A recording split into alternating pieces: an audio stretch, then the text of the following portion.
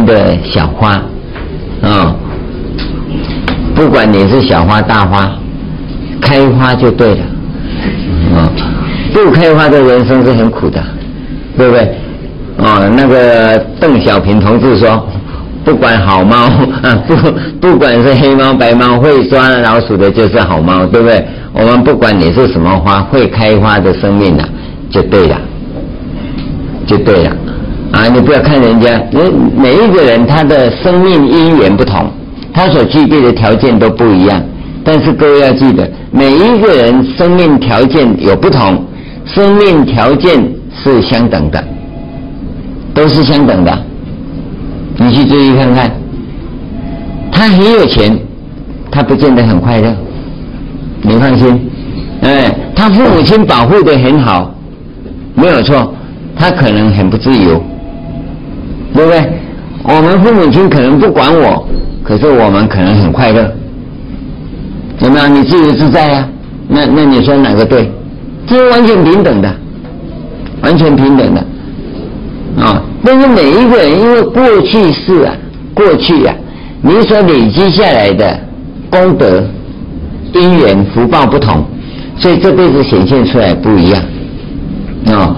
有的人呢，很漂亮。可是很孤孤僻，啊，还有的人长得很不好看，可是很有人缘，啊，你会气死人，啊，老天怎么这么不公平？嗯，这个人所修的福报不同嘛，对不对？显现的不同嘛，有的很高啊，很瘦；有的很矮也很胖，啊，那为什么？因为个人修的不一样。那你你说哪个对呢？没有对不对？平等平等。那你不管是具备什么？不同条件的生命，你只要开花就好，开花就对了。你看它像牡丹，我看牡丹就拍苗。哎，路边的小花哈，我看它很好命，你知道吗？我刚才讲拍苗是，那我们闽南话，拍苗就歹命了，不好命了。你看那个花很漂亮，啊，它要让那个那朵花全部充分开花出出来，真的很累呀。你看路边小花爆三片哈，那嘣就开花了嘛，对不对？它好祥意啊！明天掉了，后天嘣又开出来了，对不对？有的花早上开，下午就谢了；有的花是下午开，早上就谢了。可是它每天都在开花，那生命不很美吗？对不对？不比较，生命是不能比较的，生命绝对不能比较。会去比较的人生啊，一定很痛苦。不要去比较。那你去注意看看，生命的存在，生命的价值，你要能够感受到，然后自己想办法去提升，去提升它，提升了以后，你一定会获得那不可思议的东西，啊，这是我们简单的跟各位谈生命存在的这个意义啊，以及啊，这个佛法在现代化里头啊，我们要怎么样子啊，运用啊？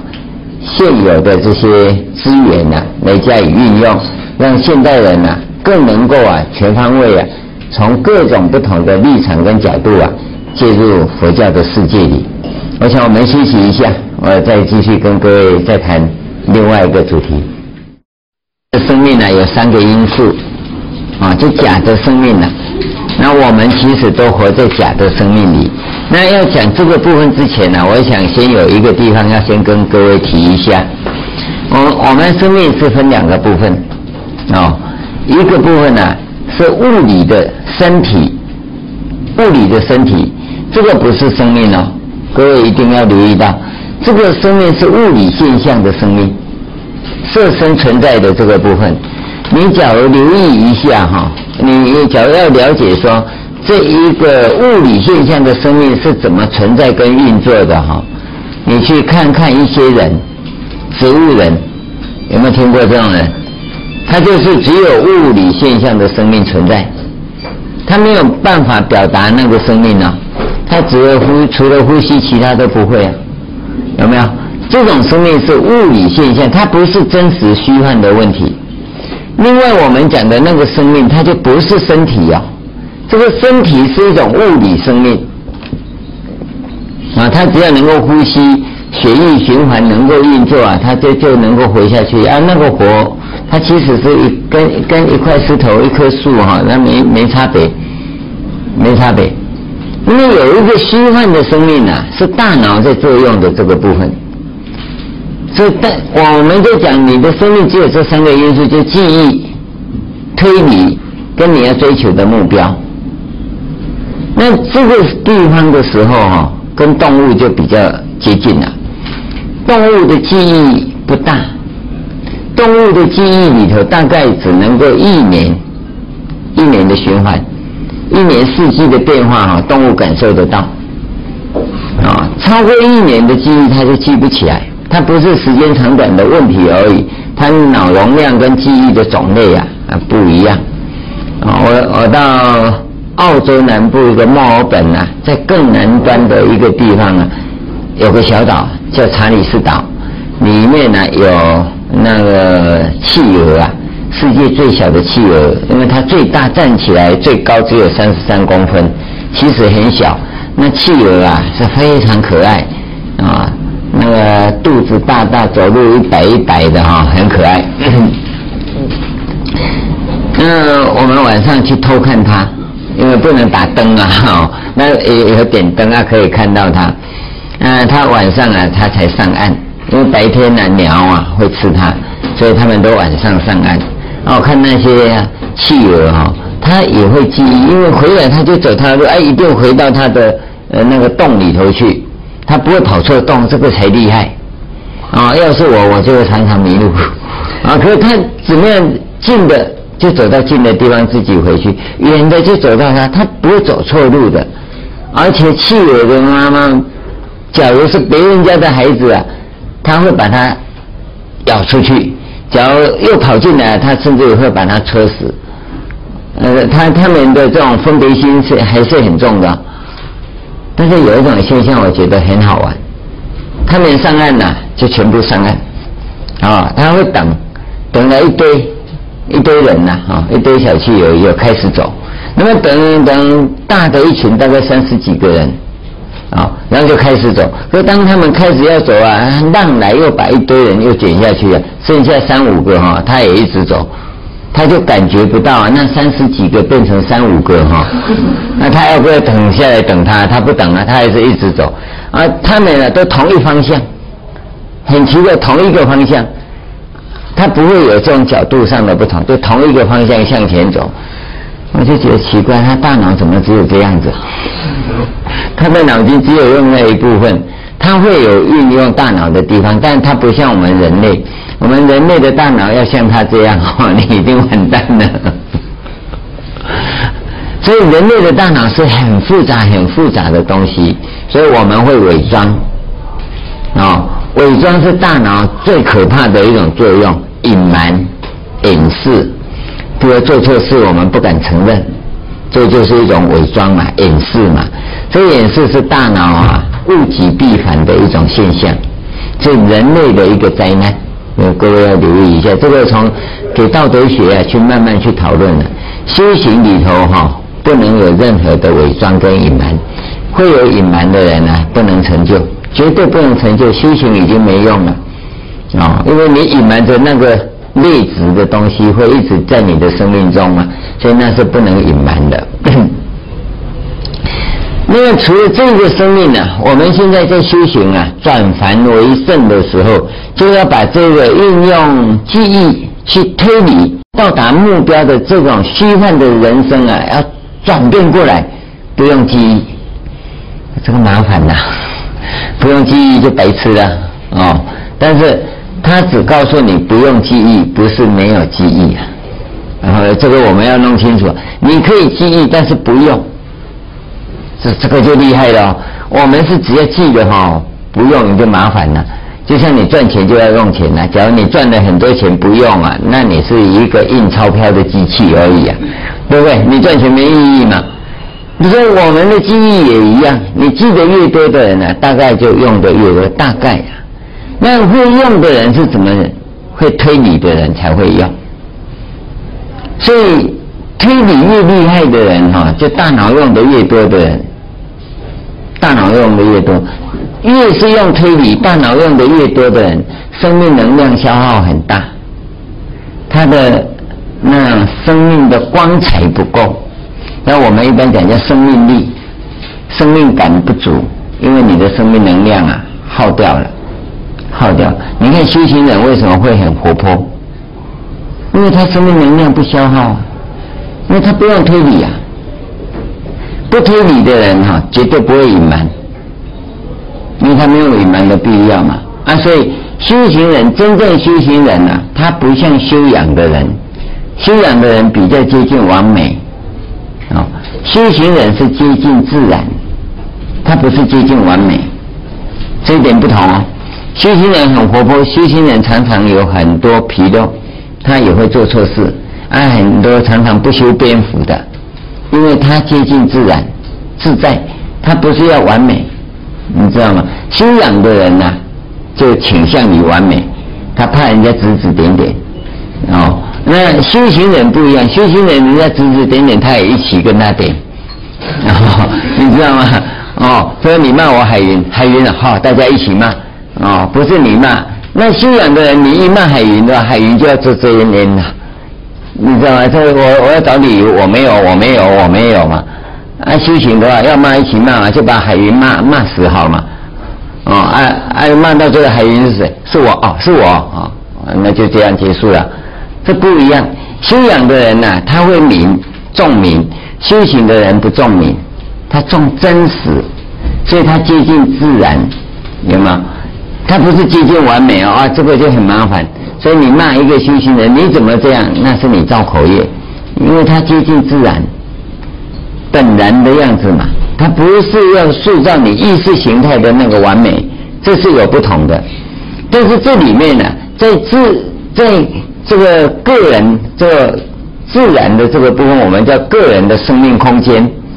那么族群这边要求完美的，这个叫做族群公约。哦，个人的生命空间如何拿捏呀？要跟族群公约取得一个平衡点。有些人为了达到啊人家的赞美，这个社会是物竞天择嘛，适者生存嘛。你为了要生存。你可能会隐瞒自己，压抑自己。那假如过度以社会公约为主的话，那你可能就消失了。你你好像活着哈，可是你根本不是活在自己的生命里，你是活在这个族群里，有没有？尤其啊，尤其我跟各位讲，女孩子要特别留意哦，太迁就对方哦，把自己压抑下来哦，那那你你你就很不好了。你会扭曲你的人性，男生也是一样，男生尤其出了社会啊，在竞争激烈的社会里啊，他会很压抑自己，那过度压抑一定扭曲他自己，啊，这个就是太过于以社会族群公约为主的生命形态啊，会扭曲自己。那你哪一天会想到说，我这样活着对吗？你开始有这种反思啊。要怎么样活下去才对？人生在这世间的价值跟意义是什么？那时候你就觉醒了，你就觉醒了。那这个时候常常有了这种反思以后的人呢，他的个人生命空间又太大，他会成为社会的叛徒。各位有没有背叛过？叛逆呀，在家里呀，我跟你讲，越早叛逆是越好的，成本越小。啊。七八岁的小孩叛逆啊，顶多是哈，爸爸买圆珠笔给他，他会他到学校就把它丢掉，因为他不喜欢那一支就把它丢掉，啊，要不然就送给同学，回家又没有，爸爸又去买一支，啊，可是他发现哦，老是拿那个牌子，我就不要那个牌子，可他不知道爸爸一次买一打，一次买一打，爸爸就是没有留意到孩子可能有他自己要选择的。可是爸爸就以为这七八岁小孩子要选什么有用就好，有得用就好，没有让他选择。可是孩子他会开始选择他所要的。其实我们每个人都会叛逆啊，要叛逆。你从小儿小孩子的时代、婴儿时代就开始在叛逆，只是你自己不知道，自己不知道。爸爸妈妈一直抱着你，抱着你，抱到你长大到某一个程度，你就不给他抱了，那就叛逆啊，啊。那，爸爸牵着你，牵着你，牵到后来你不给他牵了，要自己走了，叛逆啊，有没有？啊，啊，爸爸走到哪里，你都要跟到哪里，不跟不行啊，有恐惧啊。到后来呢，不跟了，为什么？我有朋友要去玩呢，叛逆啊，有没有？这些叛逆，父母亲大概都会接受。什么时候会不接受？你知道吗？爸爸买鞋子给你，买袜子给你，你开始不要，我不要这个，我要黄色，我不要这个，我要什么？那时候爸爸就会警觉到，爸爸妈妈就会警觉到，你长大了。这个时候还不要紧，事实上他的警觉，也就是他不太能接受的时候。到了他的意见跟你的意见起冲突的时候，哈，那就真正叛逆了。那个标准大概在十三四岁。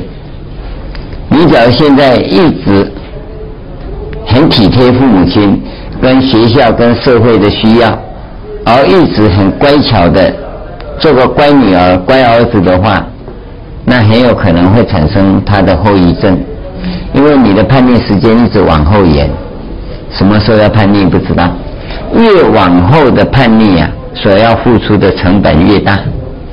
我们在社会上看到很多，啊，台湾有个上将的夫人，上将夫人，估计上将啊，诶，快七十岁了，那么他的太太最少也六十五岁啊，哦，六十五岁才叛逆哈，整个社会付出的成本有多大？你想想看，那他十五岁叛逆不就没事了吗？他压抑了五十年呢，哇，整个社会成本全部付出了。就全部付出了，你想想看，这这种可怕的局面，啊啊！台湾有个六十八岁的老太太，六十八岁，先生七十几岁过世啊，过两年以后她开始叛逆，她怎么叛逆呢？六十八岁而已啊，穿白色迷你裙，开红色敞篷车，啊，那你就知道到网球俱乐部去打网球，啊。那那你就知道，年纪越大，他的付付付出的成本越大。所以我们知道，你生命有一个你真实存在的地方，那一那一点你一直体会不到。叛逆是在做自我肯定，它不是叛逆，是自我肯定。那你这个肯定在你的生命空间里啊，跟族群公约你要怎么取得一个平衡？告诉你哈，越早叛逆的人，他越会取得平衡。越晚叛逆的人越难适应，越难适应。你自己留意一下，我不是鼓励你叛逆啊，不要弄错哈。这里面要跟各位谈的是那个自我肯定啊，这肯定什么？因为没有人知道，没有人教育，全世界到现在为止，我发现没有一个学问呢。能够来指导这个问题，所以大家都认为是叛逆，我不认为叛逆是自我肯定，这个肯定非常重要，非常重要。那么这个肯定呢，我们把它发展出来，我说真实生命呢，它有三个东西，有三个东西，也是它的要素，生真实生命的要素。第一个就是信心，我跟各位讲，信心呢，不是相信呢。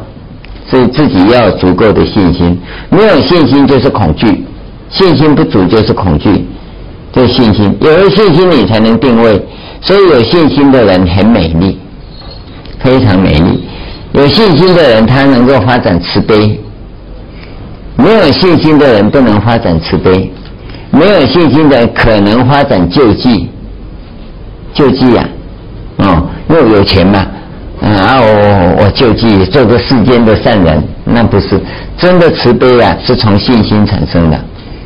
所以信心很重要，你要怎么样拥有你的人生信心？这个都都自己要怎么去训练呢？这个现在教育不会去教这些啊，教育是教你竞争啊，一竞争就增加恐惧啊。那要教给你信心，要怎么教啊？现在的学问没有，只有中国的大学跟佛教有点相吻合。因为大学之道在明明德嘛，在亲民，在止于至善，这是开宗明义章嘛。啊，和佛教就上求下化，阿耨多罗三藐三菩提，完全符合。所以这个地方才有教，可是大学不能考试，不能考试就没用了。所以我们都要能考试能积分的，大学不能考试积分呐。所以重点在这个地方，因为有了信心以后，它会产生移情。所以真实的生命呢，信心是基础，移情是动力；虚幻的生命呢，记忆是基础，合理的推理是动力。这个是不同。移情是智慧之母，有了移情啊，你才会有智慧。移情越大，智慧越大。啊，移情越多，智慧越广。啊只要有移情就对。移情是什么？疑是怀疑的疑，情是感情的情。他不是叫你怀疑，说你先接受。啊，那我在求证，求证不是推理的求证。比如说，人家说这个茶好，那我就要先接受。接受什么？先喝。喝了以后说，嗯，这个叫好茶吗？我我没有办法去证明它是好不好。但是呢，这个叫好茶，你就先这样定位。然后要怎么证明它是好，啊或者不好？我还要再喝别的茶，对不对？别的茶是不是比它更好？以以我这个茶为标准，那你自己判断。所以这个判断是实践的，你要去经验。这个经验叫如实经验，不是推理的经验。推理的经验叫做经验主义，叫经验主义。啊，如实经验是你经验到的才才算，没有经验到的不算，所以都讲如实，就是你实际上去做。那么，因为你带着移情去进行，最后你是得到智慧。什么智慧你不管，刚才的智慧是感受生命存在的能力嘛？啊，那么这个地方你就看到，透过这个部分，他是没有目标的。他是活在当下的，禅宗讲当下，活在当下，你只有在这个状况才有可能活在当下。你有信心的人才有可能活在当下。当下翻成英文是比中文还好。英文呢？英文当下，now and here，现在这里，这个叫当下。你没有信心的人都看那里。我今天才十万，下个月有一百万，啊，这十万就消失了。啊，下下个月一百万，不知道会不会兑现呢？就变成这样，这个就不在现在嘛。所以，一个有信心的人呢，他就现有的资源跟条件去活得很好，他人生是绝对积极的。现有的嘛，不管好不好嘛，我我要充分运用它嘛。让它达到最高的效益嘛，他不会抱怨。你要注意啊，没有信心的人很会抱怨，而且有恐惧感。所以真实的生命是在这个地方。现在我们放下这两边，想想，假设我们都是凡夫，你现在不要假设你是圣人，我们都是凡夫啊，我都用记忆在做推理，那我能不能少用少用哦？但是我告诉你。你在写论文是要用记忆跟推理啊，也不要师傅说 不用记忆都叫白卷呢。我的论文就是这里面都是白纸哈，那不行。这个时候是要用记忆推理。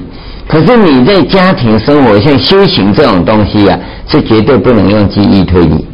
在家里生活，大家可以想象得到，家里生活是不能够用推理的，他只能用生命。所以真实生命这边呢？我叫做生命取向的思维模式，好，在家庭在用大脑这边叫大脑取向的思维模式，家庭生活啊要用生命取向的思维模式，他不用大脑的，啊，你说夫妻两个人，啊，对方做错了，那你要怎么追究？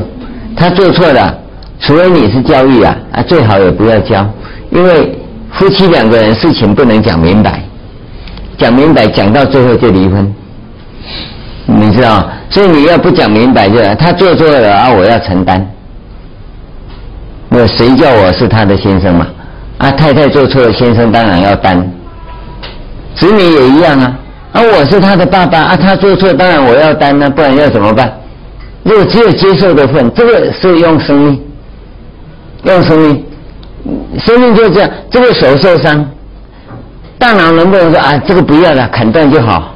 他一定想尽办法要把它抚平嘛，对不对？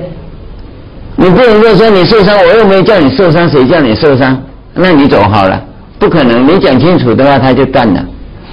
所以你不能够把这个东西弄断。家庭生活里头，这个生命取向的思维模式非常重要，要不然哈，家里会变变论场，变到最后啊，就通通离开了。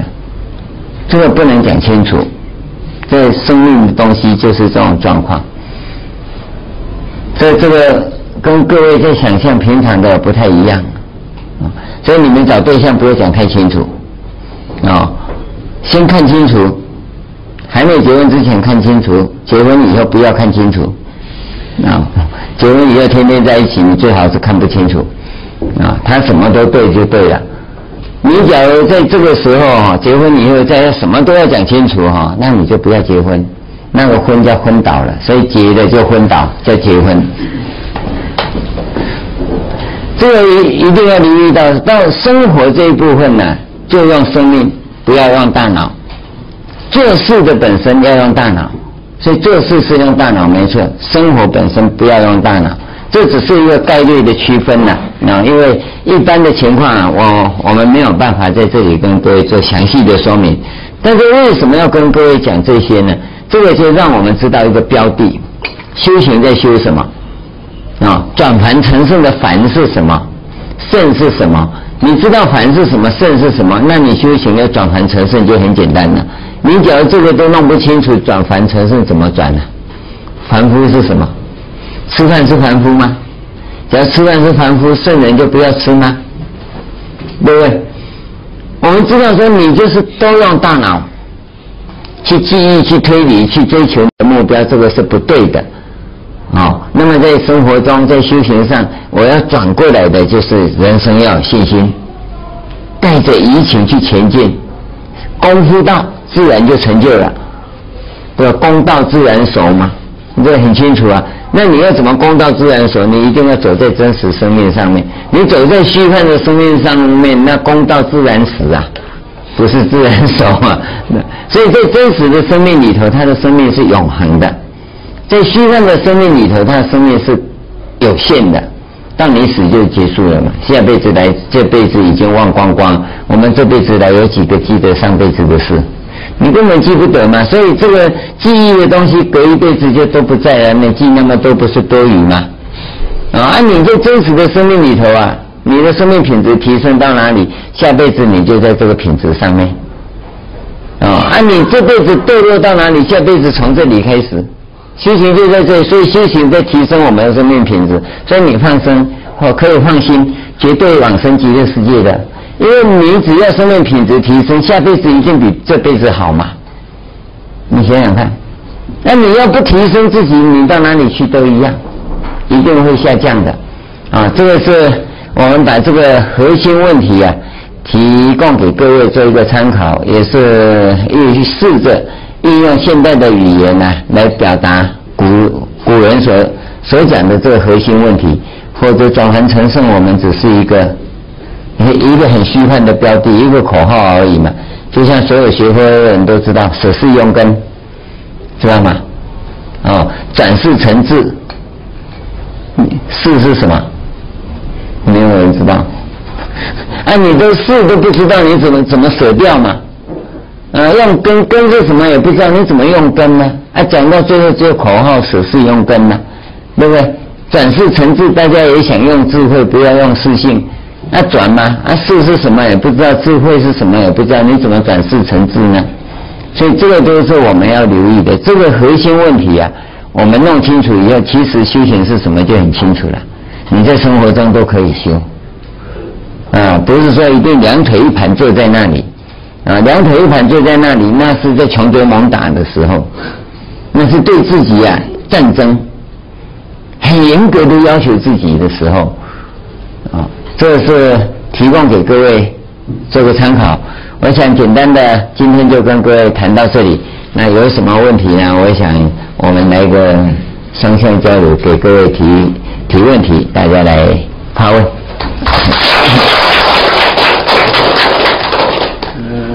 Okay 法师的讲法呀，确实体现了佛法的这个亲民性啊。大家在这个地方有很多几点觉得啊，就是按照看不见事了，才是孟浩然的事，是吧？这两句经文啊，疏与敌，疏与什么敌梧桐，为云淡河汉，是吧？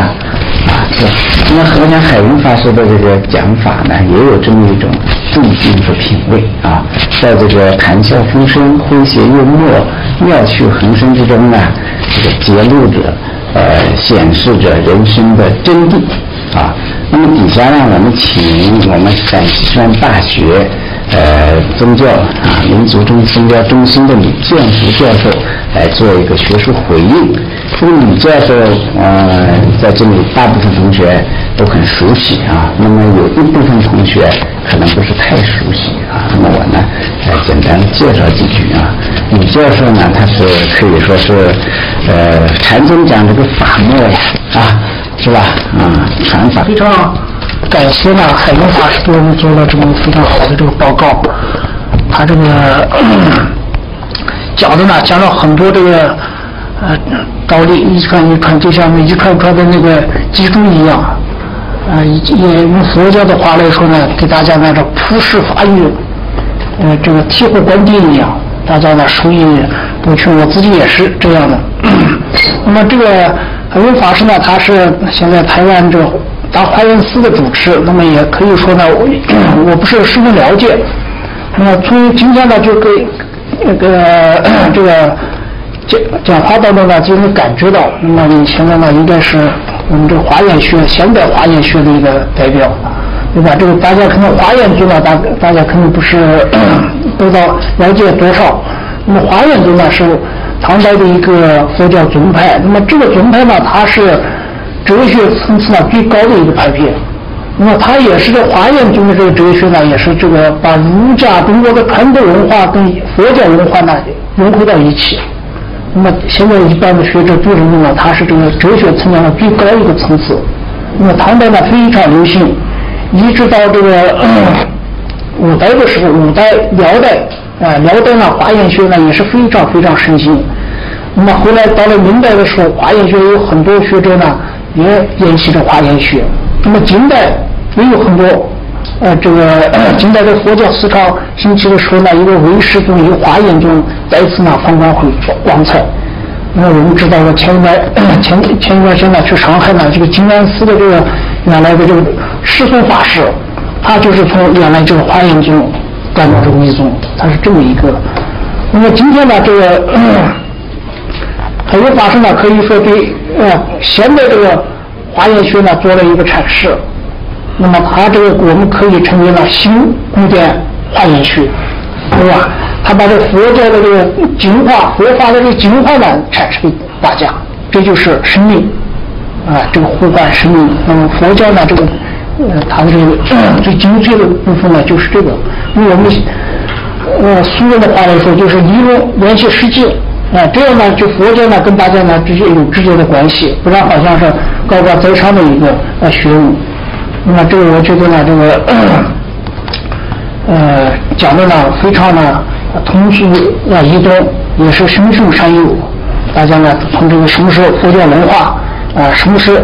呃，这个哲学跟佛学的这个区别，那么佛教呢，它提出的很重要的概念，啊，那么就是这个实践学，这个说的呢非常有道理。佛教呢不是一般的这个啊哲学，啊哲学是用逻辑思思维这种的概念来去推断出来的，但是佛法呢需要大家用心去体会，啊体会这个生命，啊这个呢不是用 哲学分析来能解决的东西，那么是它是超乎这个语言概念这些东西。我觉得呢这个。呃，我也不多说时间了，呃，没多少时间嘛，就是我觉得呢，就是完全可以成为对华严学新的一个阐释吧。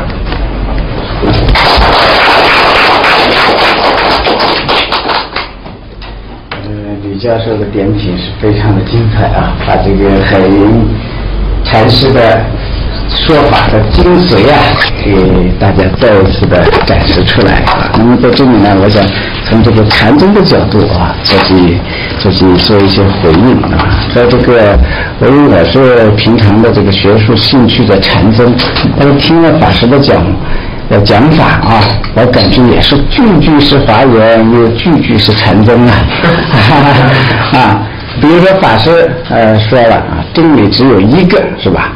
啊，真理只有一个。这个呃，我们翻开这个佛教的浩如烟海的典籍，你们就会发现，呃，佛教里面关于真理，就说真如啊，最高真理的表达，那有很多很多涅盘啊。本心啊，是吧？圆觉呀，啊，那个那个各种各样的，但是他所表述的，也就是那个最本源的、最终极的东西，啊，这也就是日月分身，八万池啊，八万个池塘，各自有各自月亮的影子，但是它的本体、它的终极呢，呃，就有一个，啊，或者就是呃那个。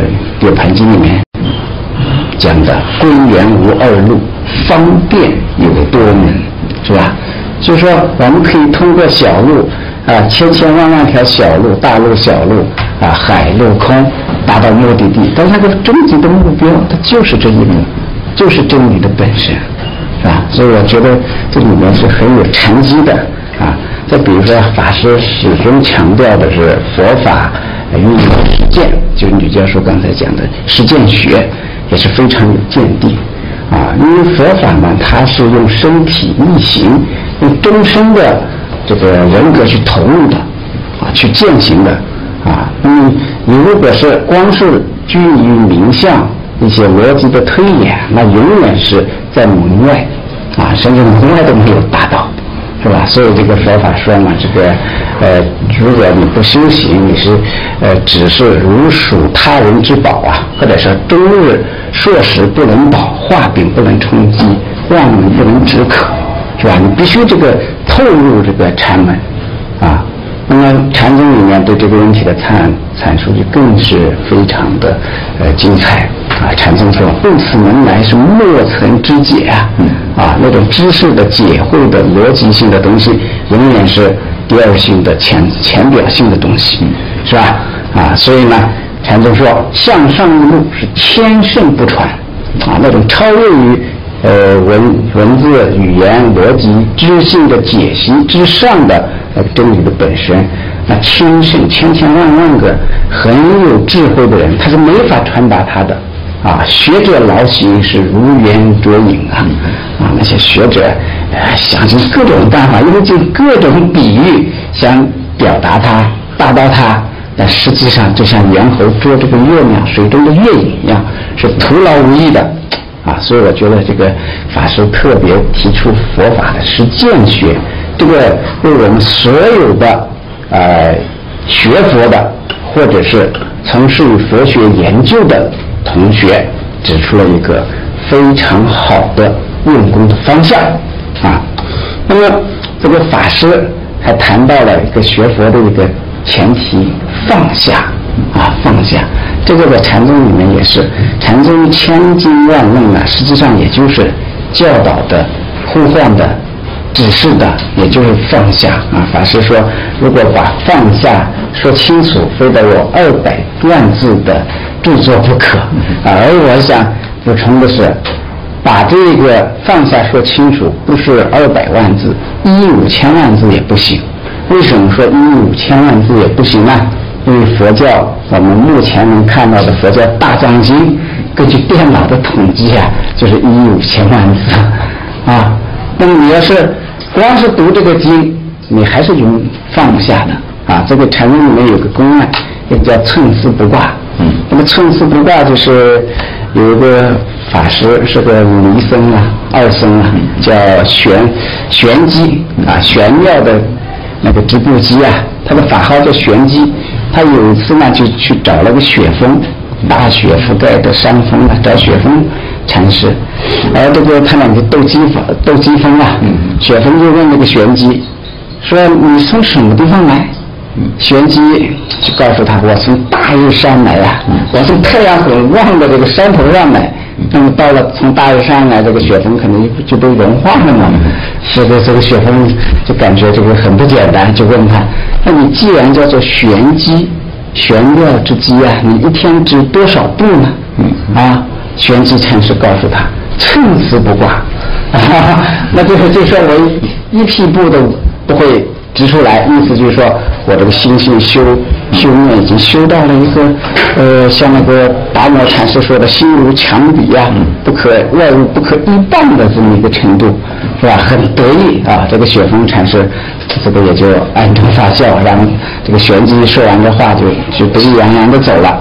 走了几步，这个玄机禅师在后面就说：“你的袈裟脚啊，拖到地上了，啊，给泥巴弄脏了。”这个玄机法师一听这个话，猛地一回头，一回头就看看这个袈裟角是不是真的给给那个嗯泥巴弄脏了。玄机那个雪峰禅师就鼓掌大笑，说：“好一个寸丝不挂啊！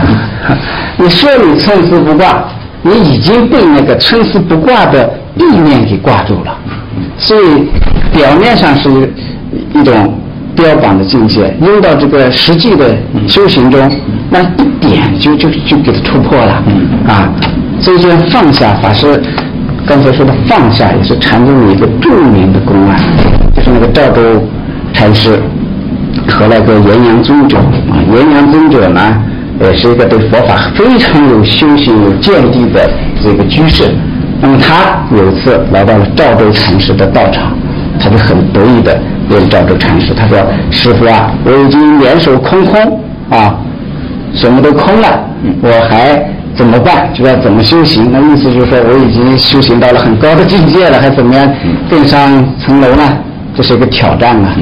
赵州禅师告诉他：“你放下住，啊，你放下。”但他当时不明白这个意思，说：“我两手空空了，你还让我放下什么？”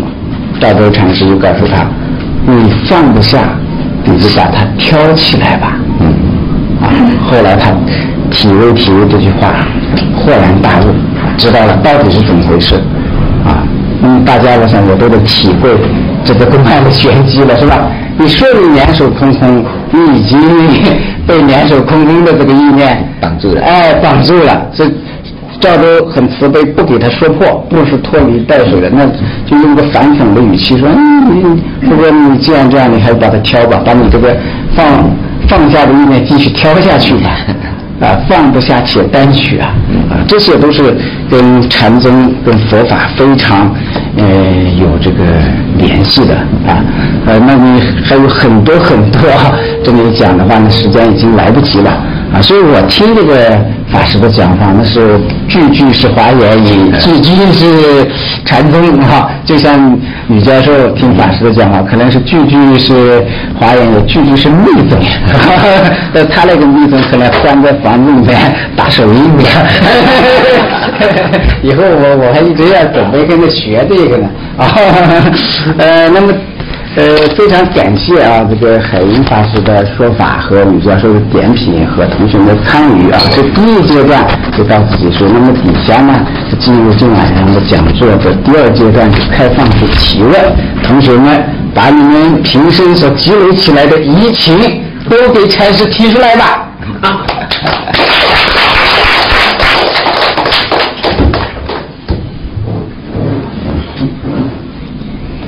不用担心，望马过来。老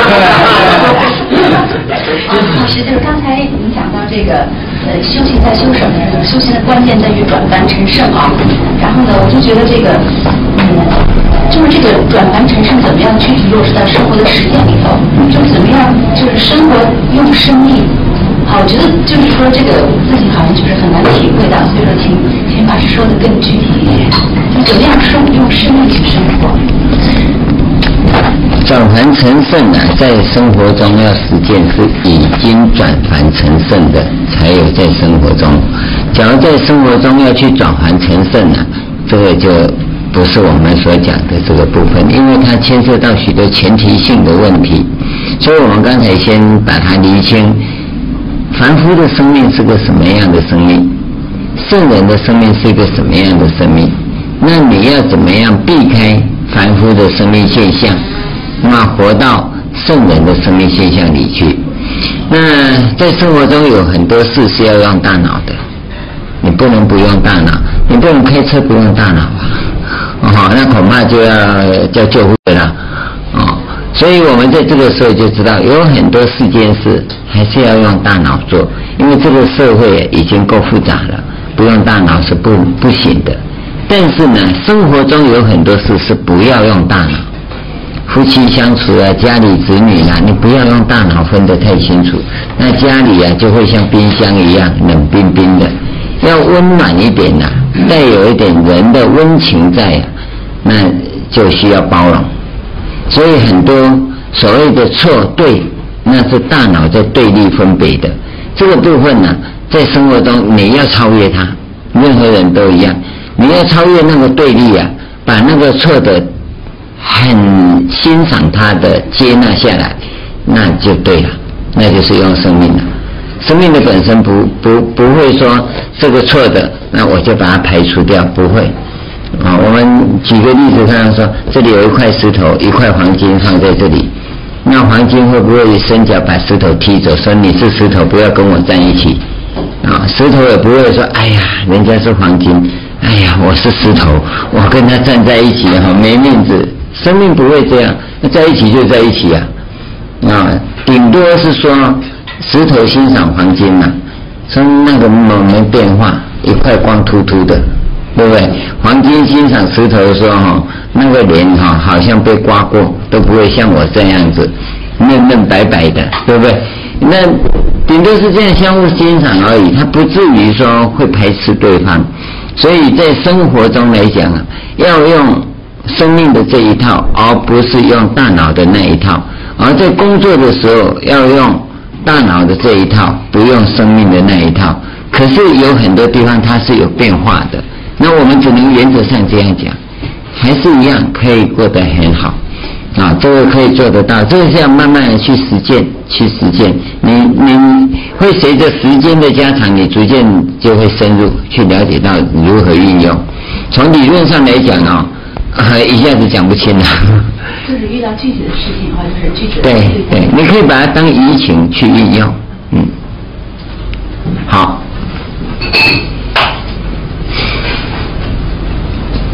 听嗯法师的佛法，觉得是一种激昂的、一种奋进的佛法。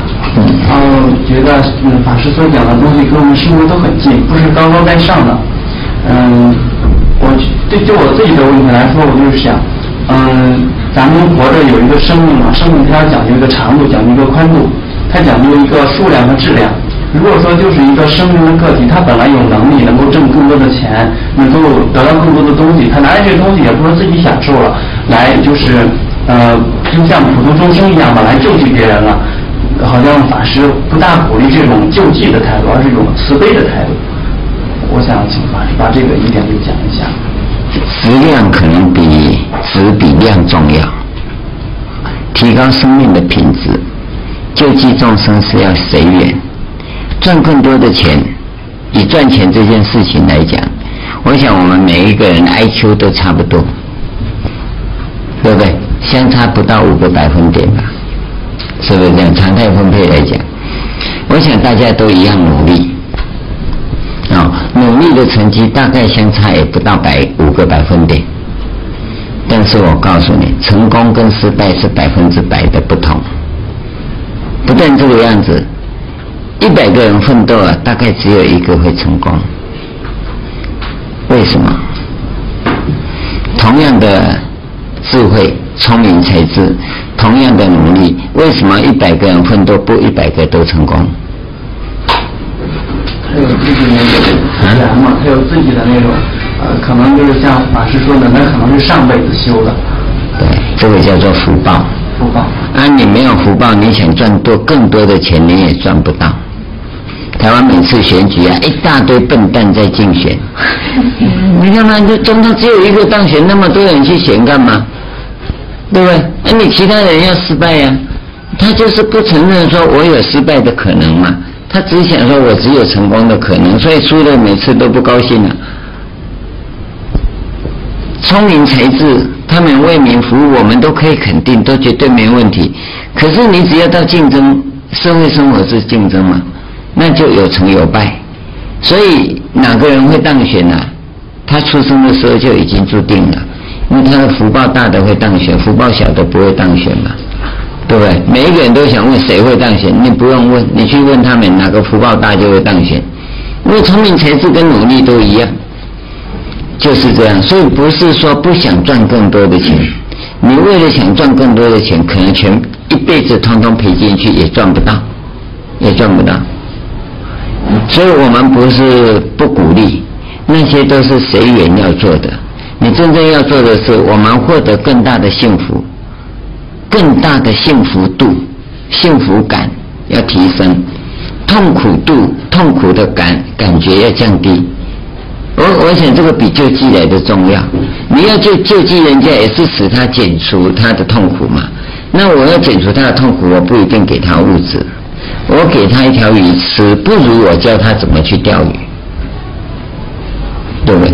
所以我给他一个健康的生命、健康的身心、健康的心灵，我想比给他东西吃要好。但意思不是说就不给他吃，给他饿死，啊，我们做得到尽量帮助，那已经是附带的。所以佛法在这个地方，生命的主体位跟客位、主客之间呢，他是很清楚的啊。OK，嗯。